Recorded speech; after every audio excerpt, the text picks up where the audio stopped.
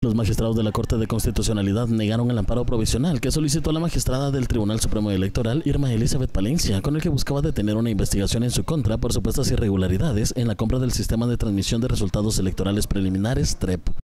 Cabe resaltar que por este caso, los diputados al Congreso de la República le retiraron la inmunidad a Palencia junto con los magistrados Gabriela Aguilera, Maynor Franco y Ranulfo Rojas, los que salieron del país ya que tienen licencia laboral.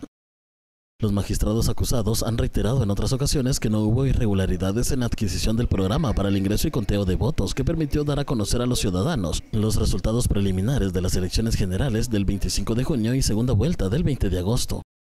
Asimismo, expusieron que el sistema funcionó para lo que fue requerido y que los resultados de los comicios se basaron, tal como ha ocurrido en procesos anteriores, en el conteo manual que realizan las juntas receptoras de votos, en conjunto con las juntas electorales municipales y departamentales que integraron cientos de civiles. Nuevo Mundo Noticias, Asael Díaz.